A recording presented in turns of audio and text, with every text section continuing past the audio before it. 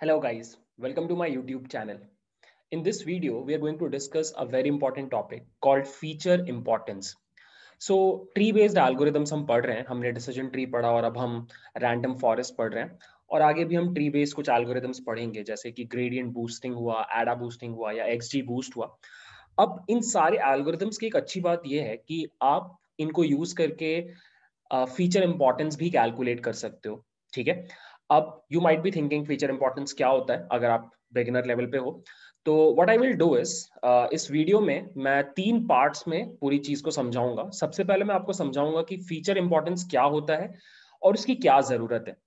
फिर दूसरे पार्ट में मैं एक कोड के ऊपर आपको फीचर इंपॉर्टेंस निकाल के दिखाऊँगा और फिर थर्ड पार्ट में मैं उसके पीछे का मैथ्स आपको समझाऊँगा। So let start the video तो सबसे पहले हम लोग डिस्कस करने वाले हैं कि फीचर इंपॉर्टेंस होता क्या है। फीचर मशीन लर्निंग में इसका मतलब होता है कॉलम यानी कॉलम का इंपॉर्टेंस निकालना। आई होप आपको ये तो पता होगा कि फीचर uh, सिलेक्शन क्या होता है। फीचर सिलेक्शन होता है कि अगर आपके डेटा में बहुत ज़्यादा नंबर ऑफ़ कॉलम्स हैं तो वो अच्छा नहीं है क्योंकि आपके मॉडल को भी नुकसान पहुंचाते हैं और आपका मॉडल स्लो भी हो जाता है। ऑब्वियसली ज़्यादा डेटा है तो मॉडल को कन्वर्ट करने में टाइम लगेगा ट्रेन होने में टाइम लगेगा। इसलिए ये कॉन्सेप्ट आता है फीचर सिलेक्शन का। फीचर सिलेक्शन में आप क्या करते हो? आप अपने बेस्ट कॉलम्स को रख लेते हो बेस्ट फीचर्स को रख लेते हो और बाकी सारे फीचर्स को हटा देते हो। ठीक है? सिंपल सी बात है। ऑल हमने अभी तक ये कवर नहीं किया हम इस सीरीज़ में इसको आगे कवर करेंगे कि फीचर सिलेक्शन कैसे होता है अलग अलग टेक्निक्स हैं। उन्हीं में से एक टेक्निक होता है फीचर इंपॉर्टेंस फीचर इंपॉर्टेंस में आप क्या करते हो कि आपके हर फीचर का आप एक इंपॉर्टेंस कैलकुलेट करते हो, एक वैल्यू कैलकुलेट करते हो, जो ये बताता है कि उस पर्टिकुलर एल्गोरिदम के हिसाब से वो फीचर कितना इंपॉर्टेंट है।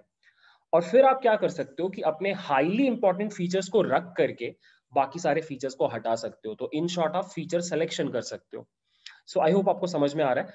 अब क्वेश्चन ये आता है कि क्यों यूजफुल है फीचर इंपॉर्टेंस मैं आपको एक एग्ज़ाम्पल के थ्रू समझाता हूँ।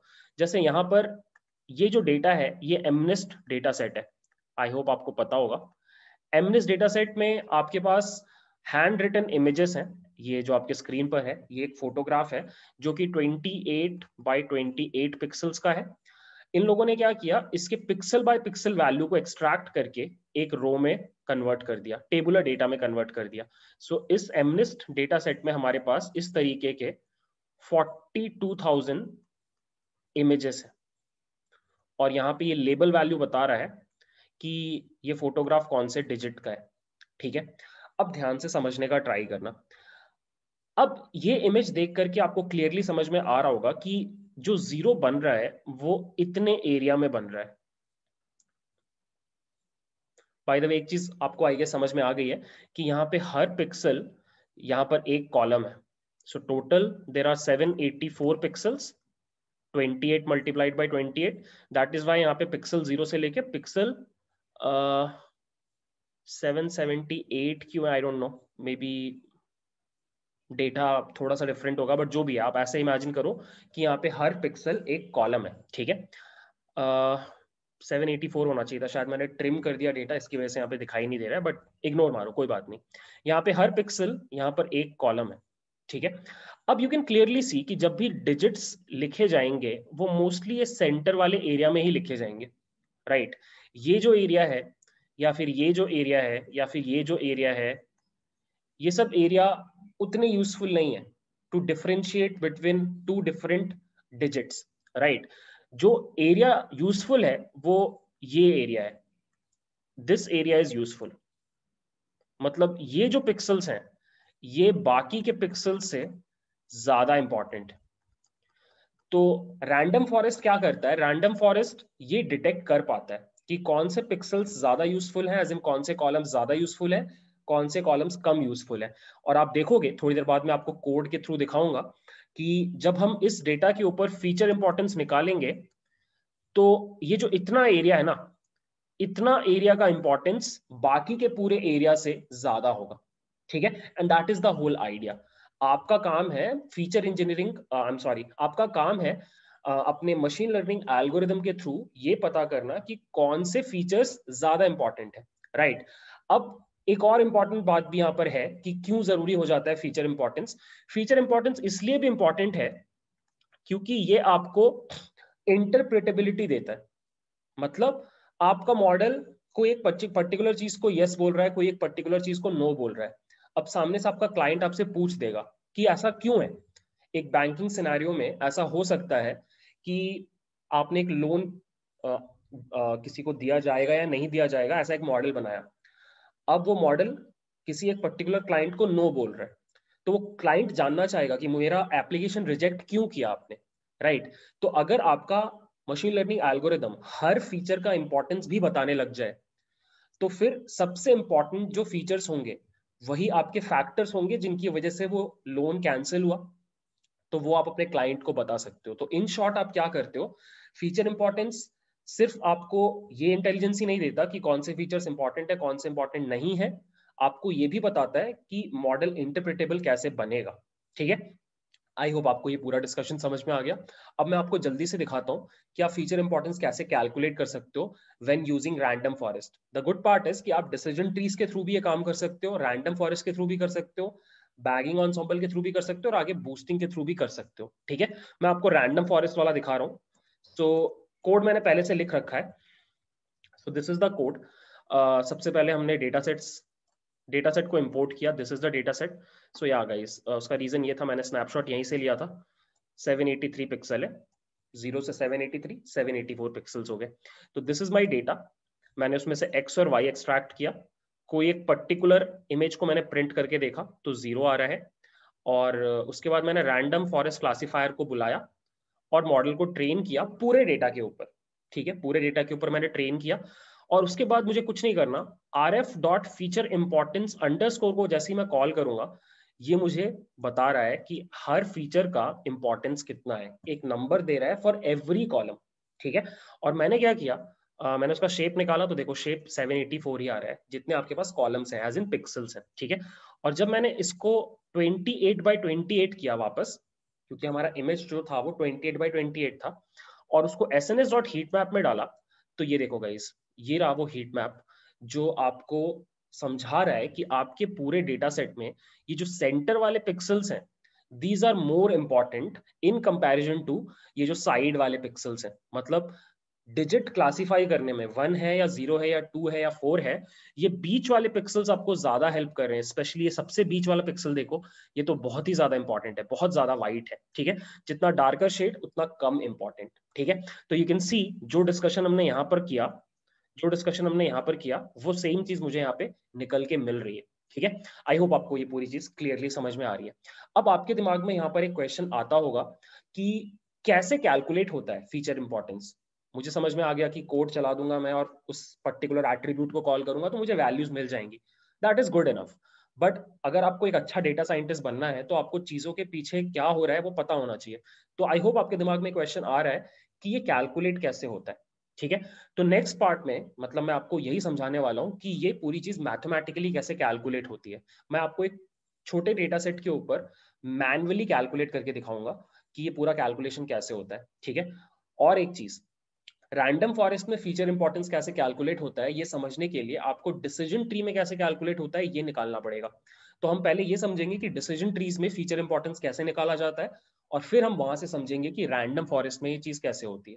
सो so गाइज़ एक बार मैं आपको दिखाता हूँ। डिसीज़न ट्री में अगर आप जाते हो डिसीज़न ट्री के डॉक्यूमेंटेशन uh, में साइकेट लर्न में वहाँ पर आपको फीचर इंपॉर्टेंस बोल के एक एट्रीब्यूट मिलेगा जो कि आपको यहाँ पे मिलेगा अब अगर आप यहाँ पे डेफिनेशन पे जाओ तो यहाँ पे लिखा है रिटर्न्स द फीचर इंपॉर्टेंसेस अब यहाँ पे डिफाइन किया हुआ है कि फीचर इंपॉर्टेंस कैलकुलेट कैसे होता है सो so यहाँ पे लिखा है the importance of a feature is computed as the total reduction of criteria brought by that feature. It is also known as Gini importance. ठीक है अब जब आप ये पढ़ रहे होगे तो थोड़ा सा कंफ्यूजिंग लगेगा ठीक है? जैसे मुझे भी लगा था। अब अगर आपको सच में समझना है कि फीचर इंपॉर्टेंस कैसे कैलकुलेट होता है डिसीज़न ट्री में तो आपको डिसीज़न ट्री को प्लॉट करना पड़ेगा। सो so, मैंने क्या किया? मैंने एक कोड लिखा जहाँ पे मैंने खुद का एक डेटा सेट बनाया जिसमें सिर्फ़ पाँच रोज थे और दो कॉलम्स थे ठीक है? फिर मैंने एक डिसीज़न ट्री क्लासिफायर को क्रिएट किया और उस डेटा पे ट्रेन किया और मैंने प्लॉट कर दिया उस डिसीज़न ट्री को। अब मुझे क्या करना है? इस डिसीज़न ट्री को देख करके कैलकुलेट करना है कि यहाँ पे जो दो फीचर्स हैं, दो फीचर्स कौन से हैं? ज़ीरो एंड वन सो यहाँ पे यू कैन सी जो पहला स्प्लिट पड़ा है, वो सेकेंड कॉलम के बेसिस पे पड़ा है और जो सेकेंड स्प्लिट पड़ा है, वो फ़र्स्ट कॉलम के बेसिस पे पड़ा है। अब मुझे इस डिसीज़न ट्री को देख करके डिसाइड करना है कि फीचर पहले वाले का इंपॉर्टेंस कितना है दूसरे वाले का इंपॉर्टेंस कितना है? ऑल आपका डिसीज़न ट्री आपको बहुत इजिली ये कैलकुलेट करके दे सकता है। ये देखो। So according to this model जो डिसीज़न ट्री हमने अभी ट्रेन किया, उसके हिसाब से जो पहला कॉलम है, उसका फीचर इंपॉर्टेंस ज़्यादा है पॉइंट सिक्स टू और जो सेकेंड वाला है, उसका फीचर इंपॉर्टेंस कम है। एक और चीज़ हमेशा याद रखना सिंस ये नॉर्मलाइज होता है, यहाँ पे नॉर्मलाइज वर्ड यूज़ किया हुआ है तो आप सारे फीचर्स का जब इंपॉर्टेंस को ऐड करोगे वो हमेशा वन होगा। ये इंपॉर्टेंट चीज़ है। अब क्वेश्चन ये आता है कि ये नंबर्स कैसे आ रहे हैं? हम ये देखेंगे। तो उसके लिए मैं क्या करूँगा? मैं इस पूरी चीज़ को पहले तो कट करके ड्राइंग बोर्ड की तरफ़ लेके चलता हूँ। So I will cut this entire thing paste कर रहे हैं यहाँ पर। ठीक है? अब देखो यहाँ से मेन पार्ट स्टार्ट होता है। सो so, आपको अगर किसी भी पर्टिकुलर कॉलम या फीचर का इंपॉर्टेंस कैलकुलेट करना है यूजिंग डिसीज़न ट्रीज अलग तरीके होते हैं और भी बट हम जो तरीका दिखा रहे हैं वो डिसीज़न ट्री के बेसिस पर है। सो so, उसके लिए आपको क्या करना पड़ता है कि आपको देखना पड़ता है कि कौन कौन से नोड्स उस पर्टिकुलर कॉलम के हिसाब से स्प्लिट हुए। मतलब समझने का ट्राई करो। यहाँ पे दो कॉलम्स हैं। एक का नाम है ज़ीरो और एक का नाम है वन सो so, अगर मुझे ज़ीरो का इंपॉर्टेंस निकालना है फीचर इंपॉर्टेंस निकालना है तो मुझे सबसे पहले वो सारे नोट्स उठाने पड़ेंगे जिन नोट्स पे स्प्लिटिंग ज़ीरो कॉलम की वजह से हुई है यहाँ पर ऐसे कौन से नोट्स हैं? ऐसा सिर्फ़ एक ही नोड है। ये जो नोड है यहाँ पर जो स्प्लिटिंग है वो ज़ीरो कॉलम के बेसिस पे हुई है। वेर एज ये जो दूसरा नोड है फ़िलहाल यहाँ पे दो ही नोड्स है क्योंकि हमारा डेटा बहुत ही छोटा है। यहाँ पर जो स्प्लिटिंग हुई है वो फ़र्स्ट कॉलम के बेसिस पे हुई है। सो so, आपको क्या करना होता है? आपको ज़ीरो कॉलम का निकालने के लिए इस नोड का इंपॉर्टेंस निकालना होता है। नोड का इंपॉर्टेंस निकालना होता है। और फिर आप क्या करते हो, आप ज़ीरो कॉलम के लिए अगर फीचर इंपॉर्टेंस निकाल रहे हो तो कैसे निकालोगे? आप जितने भी नोड्स के ऊपर स्प्लिटिंग जो ज़ीरो कॉलम की वजह से हुआ है, उन सबको ऐड कर दोगे। यहाँ पर ये सिर्फ़ एक ही कॉलम एक ही नोड है। तो हम इस नोड का इंपॉर्टेंस निकाल के लेट से वो नंबर एक्स आ रहा है, उसको हम न्यूमिनेटर में रख देंगे। और डिनोमिनेटर में आप क्या करोगे, जितने भी नोड्स हैं, उन सबका नोड का इंपॉर्टेंस निकाल के डिनोमिनेटर में ऐड कर दोगे। सो so, यहाँ पर एक ये था और एक ये है। मान लो इसका वाई आया तो नीचे में आ जाएगा एक्स प्लस वाई सिमिलरली यहाँ पर जब आप फ़र्स्ट कॉलम के लिए निकालने जाओगे तो फ़र्स्ट कॉलम का नोड इंपॉर्टेंस कितना है? वाई और टोटल कितने नोड्स हैं? एक्स प्लस वाई तो इस तरीके से आप ये निकालोगे। अब क्वेश्चन ये आता है कि किसी भी नोड का इंपॉर्टेंस कैसे निकलता है? वो निकलता है इस फॉर्मूले के through this is the formula ठीक है? देखो नोड इंपॉर्टेंस निकलता है N underscore T N underscore T क्या है? कि उस नोड के पास कितना नंबर ऑफ़ रोज है? सो so, यहाँ पर अगर आप देखो सैंपल्स में फाइव लिखा हुआ है। अगर आप इस कॉलम का निकाल रहे हो तो सैंपल्स में फाइव लिखा है। तो एन अंडरस्कोर टी क्या हो जाएगा? फाइव ठीक है? नेक्स्ट है एन एन क्या है? N is total number of rows present in data यहाँ पर वो भी फाइव है। हमारे डेटा में टोटल मिला के पाँच ही रोज है ना? ये देखो, सिर्फ़ पाँच ही रोज है। तो दैट इज़ वाई ये नंबर और ये नंबर दोनों फाइव हो जाएगा, ठीक है? नेक्स्ट इंप्योरिटी क्या है उस नोड के ऊपर? वो इंप्योरिटी ये है पॉइंट फोर एट तो इसके बदले आ जाएगा पॉइंट फोर एट ठीक है? उसके बाद माइनस ब्रैकेट में ये ratio multiplied by right underscore impurity ठीक है? अब आप क्या करोगे? यहाँ पे इससे दो नोड्स बन रहे हैं। एक ये नोड बन रहा है और एक ये नोड बन रहा है। दो चाइल्ड नोड्स बन रहे हैं। तो अब आप क्या करोगे? राइट नोड को पकड़ोगे। ये राइट नोड है। राइट नोड में कितने रोज आ रहे हैं? सो so, यहाँ पर यू कैन सी चार रोज आ रहे हैं। तो ये जो नंबर है एन टी आर ये चार होगा। एन टी अभी भी पाँच होगा। फिर राइट इंप्योरिटी कितना है? राइट इंप्योरिटी ये है।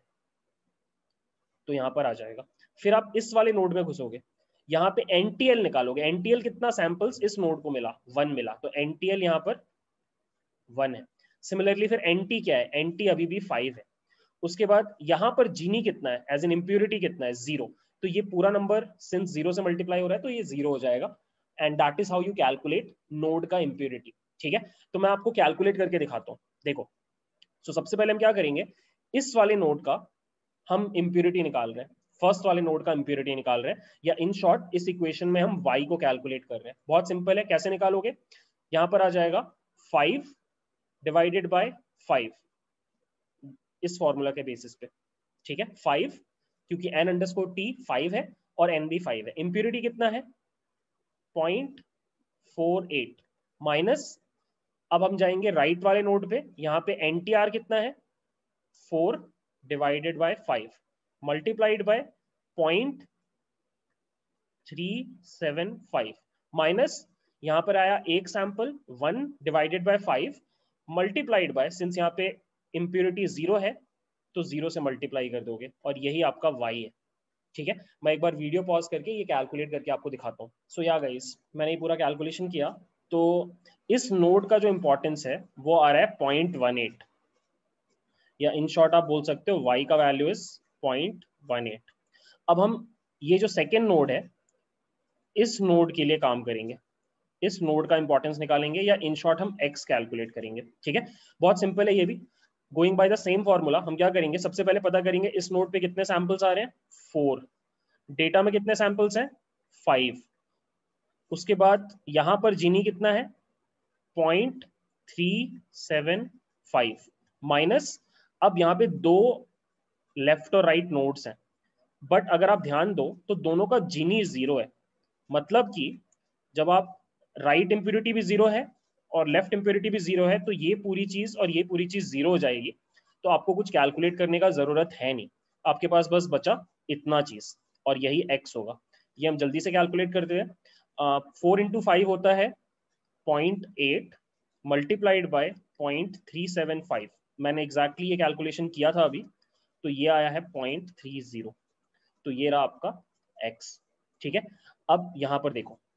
अगर मुझे ज़ीरो फीचर का इंपॉर्टेंस निकालना है तो उसका फॉर्मूला है X divided by X plus Y तो मतलब ज़ीरो फीचर का importance is point three divided by point three plus point one eight और फ़र्स्ट फीचर का इंपॉर्टेंस है point one eight divided by point three plus point one eight जल्दी से calculate करते हैं इसको। सो so, हमारे पास ये रहा कैलकुलेटर सो सबसे पहले हम निकाल रहे हैं point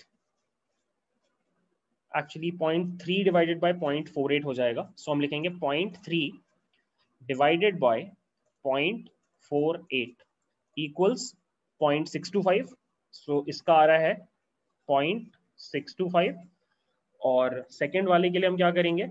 हम निकालेंगे point one eight divided by point four eight और ये आ रहा है point three seven five this is point three seven five so अब अगर मैं वापस आपको दिखाऊँ, ये देखो, हमने जब ये निकाला था ज़ीरो कॉलम का पॉइंट सिक्स टू फाइव था और फ़र्स्ट कॉलम का पॉइंट थ्री सेवन फाइव था, ठीक है? तो क्लियरली आपको समझ में आ रहा है कि फीचर इंपॉर्टेंस कैसे कैलकुलेट होता है। मैं आपको एक और केस दिखाता हूँ, जहाँ पर दो से ज़्यादा नोड्स हैं। सो मैंने क्या किया? इस बार मैंने नंबर ऑफ़ सैंपल्स बढ़ा के 15 कर दिया। नंबर ऑफ़ रोज बढ़ा दिए मैंने।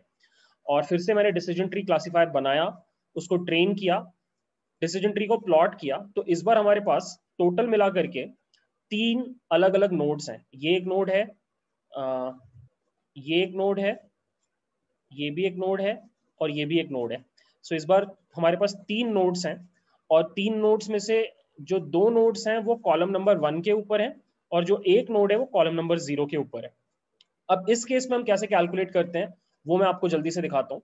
सो so, इस डिसीज़न ट्री में जैसा कि हमने डिस्कस किया तीन नोड्स हैं और तीन नोड्स में से जो दो नोड्स हैं ये वाला नोड और ये वाला नोड ये ज़ीरो कॉलम के लिए है और ये जो नोड है ये फ़र्स्ट कॉलम के लिए तो हम एक काम करते हैं फ़र्स्ट कॉलम वाले नोड के लिए कैलकुलेट uh, करते हैं पहले।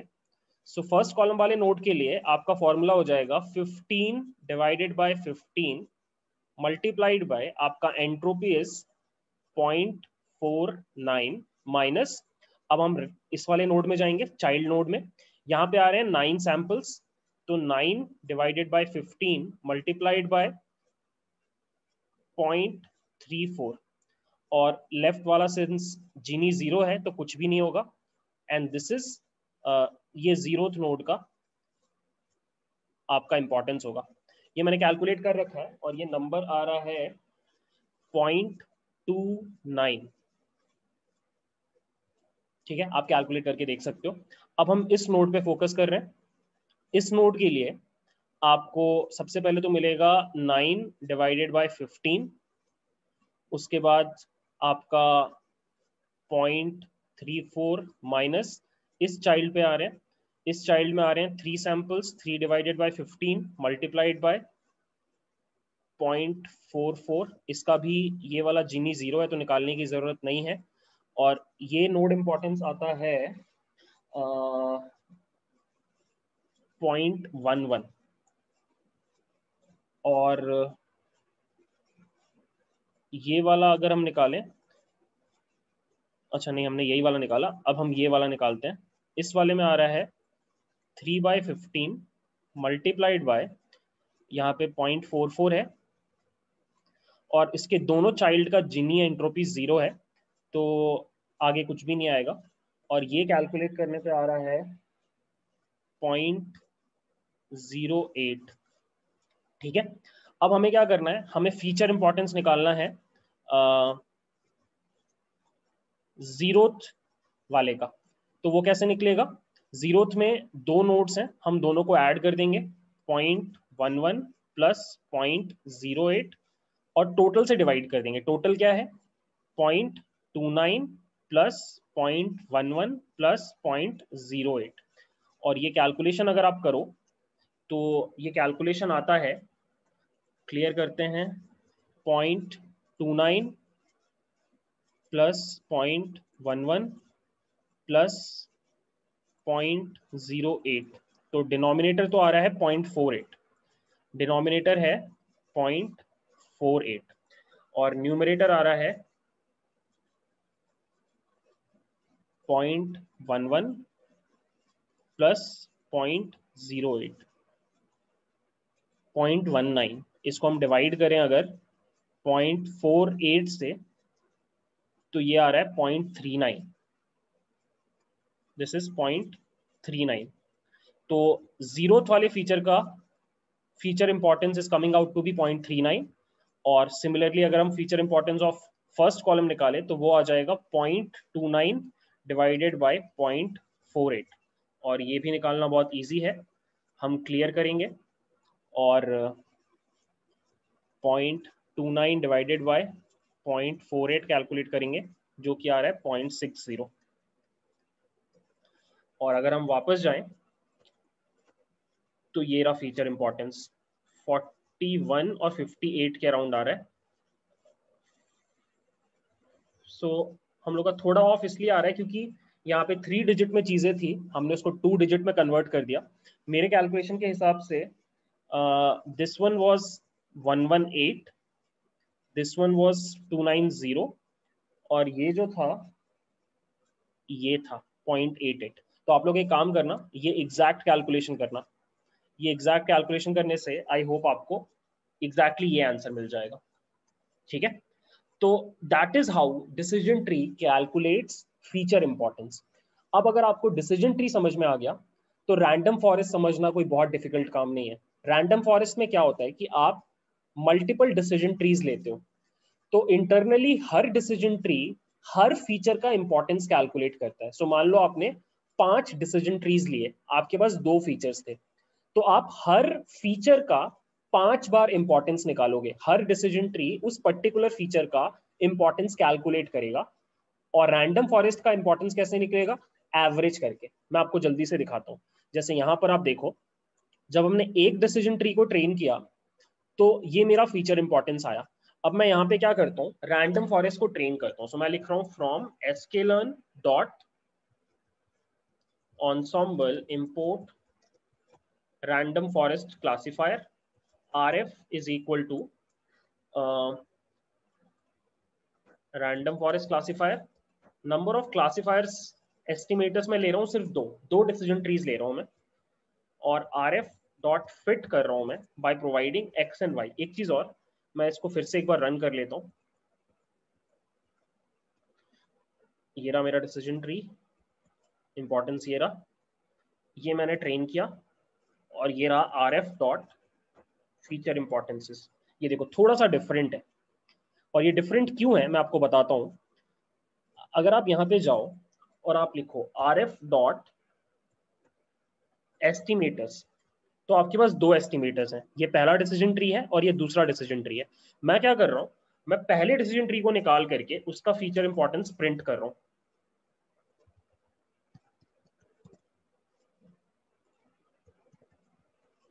और वो ये आ रहा है।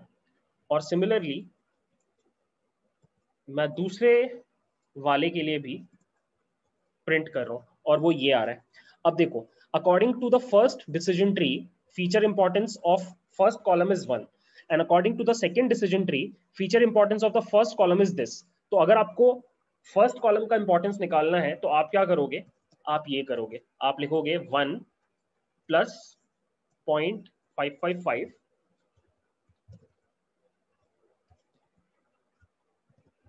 divided by two और वो आ रहा है पॉइंट सेवन सेवन ऊपर जो आपको दिखाई दे रहा था, ठीक है?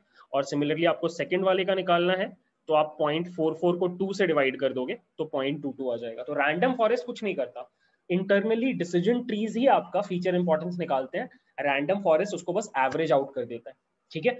तो आई होप आपको ये पूरी चीज़ समझ में आ रही है। अब एक लास्ट चीज़ आपके साथ जो मैं डिस्कस करूँगा, वो ये है। यहाँ पर एक वार्निंग दी हुई है। और लिखा हुआ है कि इम्प्यूरिटी बेस्ड फीचर इंपॉर्टेंस जो हम अभी कैलकुलेट कर रहे थे, can be misleading for high cardinality features, many unique values. अगर आपके पास इस तरह का डेटा है, जहाँ पे आपके पास जो फीचर है, उसमें हाई कार्डिनलिटी कार्डिनलिटी है, उस केस में आप रादर देन फीचर इंपॉर्टेंस ऐसे कैलकुलेट करने के आपको ये साइकेटलन का परम्यूटेशन इंपॉर्टेंस बोल के एक क्लास है, आप इसको यूज़ कर सकते हो। ये आपको ज़्यादा बेटर रिज़ल्ट देगा। अगर आपके डेटा में हाई कार्डिनलिटी नहीं है तो फिर आप वो तरीका यूज़ कर सकते हो जो हमने इस पूरे वीडियो में डिस्कस किया। ठीक है? तो आई होप आपको ये पूरा डिस्कशन समझ में आया। That's it thanks watching bye